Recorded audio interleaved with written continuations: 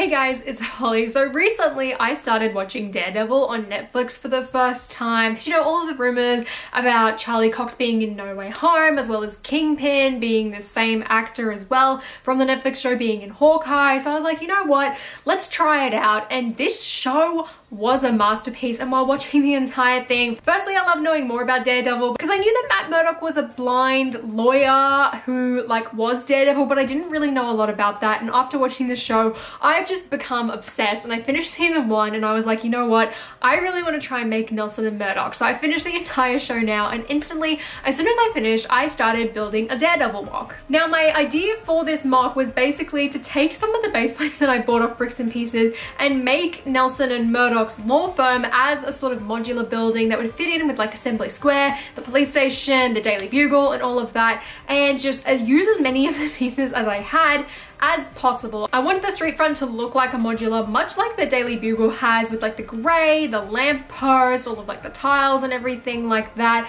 That was my sort of plan. And my thought was to do it on a 16 by 32 and kind of have it as like a skinny building. And initially my plan for this was to do it similarly to how it is in the Netflix show. However, when I was like Googling reference images, just trying to see what the building actually looked like, I learned that it's actually an Easter egg as well in the Spider-Man PS4 game, which I had had no clue about because I didn't really know much when I first played through the game years ago. So I ended up getting like reference images of both and the buildings were relatively similar. I feel like the color scheme and sort of slight differences in the architecture were really the only big differences. I knew that I really wanted to try and make the Nelson and Murdock sign as well, which is basically how I started and that was just my plan for the get-go. And I looked at a bunch of references and things like that of other modular buildings as well to try and get the widths and all of that. And this this is what I've currently got. So my main plan for this, you know, as usual, is to use as many of the pieces as I have. And one piece that I had a ton of was these dark red masonry bricks. And I feel like it was pretty close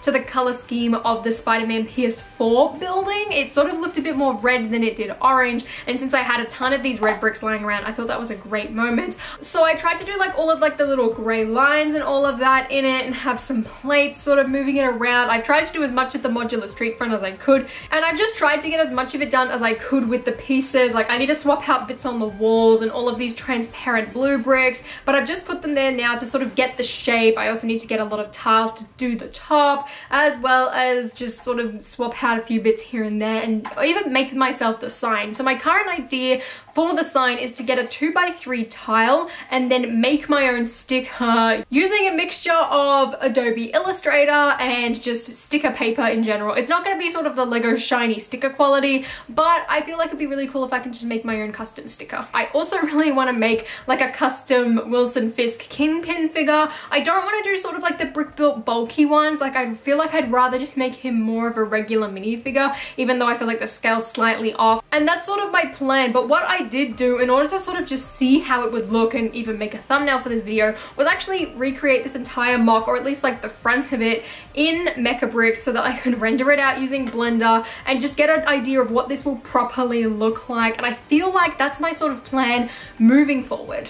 But before I sort of talk about what other directions I want to go for this MOC, let's have a look at this thing up close. So here's what I've built up of the physical MOC so far, and this is actually what I started with, and then I sort of moved it into Mecabricks. And as you can see, there's a lot of pieces sort of missing that I've just had to substitute for now, and just for sort of display purposes, I've added Daredevil to the front, but sort of here is the whole plan. I've also had to substitute this little lamp post, so I want to make this front look exactly like it does with an actual modular and have like the white here, then completely tile it off, as well as adding just some little studs here and there so I can pose minifigures. This lamp lamppost ideally I would like to be white but I'll keep this light here black. I also want to get a 2x3 black tile and then make my own Nelson and Murdock sticker in order to stick it on the front. I want to get one of those sort of panel doors like in the little Mecabricks version that I've done as well as just completely tile off the top with jumper plates as well as tiles just overall making it look a lot cleaner as well as adding an interior, some of the ideas that I had was maybe like a little couch or a reception area or a desk. I was thinking about adding a wall here to sort of build off the steps, which I accidentally just knocked over. But I feel like we never saw much of the base level of Nelson and Murdock. Like I have a lot of ideas for the top of the offices, but here I feel like I'm just gonna make it up. I was thinking about adding some pot plants, maybe a little rug build, a fireplace even, but then I feel like I'd need a chimney, so I'm kind of leaning off that. But also you can see on the walls that I've currently just sort of filled it in with dark grey bricks for the time being. I'm gonna get rid of them. I wanna have this entire thing be red. Not necessarily masonry brick red, but definitely dark red. And then at the back, I really want to have like a dumpster or some boxes, sort of like the Bugle has at the back of that. I feel like that would look pretty cool. I definitely didn't want to put a door in here. I feel like it didn't need an exit door, but I would really love to try and do like a fire escape. But I feel like for this level, it is pretty basic. Like I liked having these little bits sort of extrude from the rest of the building. I thought that looks pretty cool, as well as sort of having like a pole or a gutter. Like this whole front is really, I feel like more leaning towards the PlayStation 4 Nelson and Murdock rather than the Netflix show, which personally I, I really like how this is turning out. It's sort of a mix of both is what I'm trying to do here. But it would be nice once I get the rest of the parts so I can actually put in the door and make the sign and all of that as well as just finish up the top and really get that interior done because I really plan to just sort of stick this in between some of the buildings. I've made this entire side panel flat so that you can actually stick it in front of a building, which would be great. But yeah, for this first level, I really feel like it's just this front bit here that you sort of really want to see up close and personal. And then on the next level, that's where the interior sort of tries to play a bit more. But after building this, one thing I do want to do is sort of have some more interesting build techniques on the next level because I feel like this is very much just sort of bricks stacked on top of each other, which for this level, I think does work, but I would like to sort of upgrade it. So yeah, that's everything so far. So what I've actually done is got into Mecabricks and sort of just plan what I want to do. So I've got the base level done. The next level I want to do is going to be the offices. Currently my idea is to make it sort of tan and try and make it look like the show's interior is possible. I would like to ideally try and divide it up, but I don't know if I'm going to have space to do that with like such a tiny floor plan, but I feel like I'll try my best and actually get like desks in, even have like the little kitchen that they have in their office, which would be pretty cool. And then I feel like I'll leave it at two stories. Like I don't want to make this too tall because I don't know what I would put in sort of the third level unless I make Matt Murdock's apartment, which technically doesn't make sense because it's in a different building, but at least it would sort of fit in with like the Daredevil theme. And then I really want to have like some sort of open rooftop with like a staircase leading up so the characters can sort of peek over. What my current plan is, is to do something similar to the police station because I'd really like to try and get some cool build techniques and patterns on like the front of this building as sort of the levels go up. I feel like the first level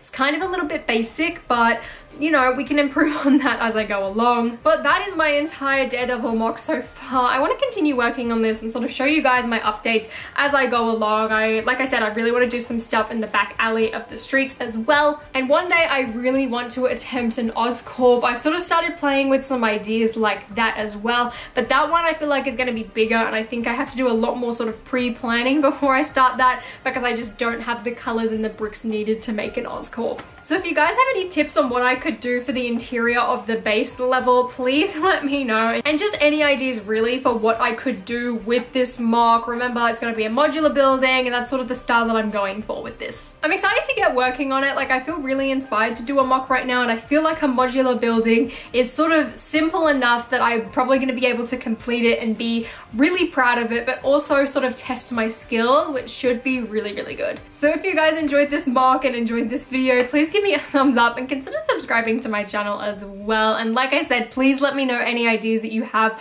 for this MOC and interiors, exteriors, and things like that. I would love to hear them. And until next time, guys, I'll see you later.